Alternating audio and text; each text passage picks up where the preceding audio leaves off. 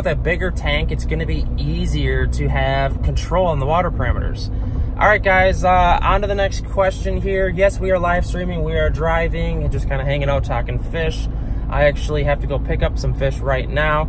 Um, the next question is, Chris, is polyurethane safe in fish tanks?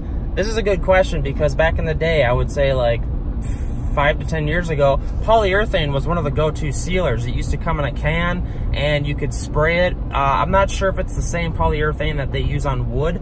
Anyways, long story short, I would skip past all of that and I would use Plasti Dip Clear Coat. Plasti Dip is a new product that's kind of taking over. Anything plastic based like epoxies is much, much safer in aquariums. So scratch the idea of using polyurethane. Use clear Plasti Dip spray. It comes in sprays and I'll throw a link in the description box. You can buy it on Amazon and it's really easy to find, really easy to spray.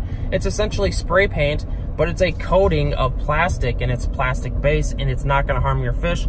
Um, you can even peel it off at a later date and it's really fun to use. Maybe you wanna use some on your car wheels. Polyurethane in fish tanks, never been a good idea.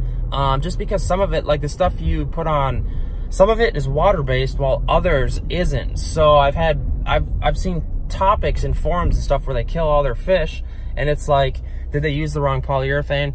I don't know guys, I'm blabbing. Everything now is pretty much plastic based if you want it to be safe for your fish tanks like Plasti Dip, epoxy, anything plastic, anything plastic based. There's probably a hundred different products along the same, uh, like it's it's essentially all the same stuff. And Plasti Dip is the mainstream brand that kind of started it. Now there's tons of off brands. I would just use. I would just use Plasti Dip. God, I got some in my throat still. Ah.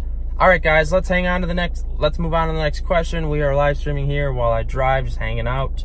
Um, polyurethane in fish tanks. Hopefully that helps you guys. Um, what's next here?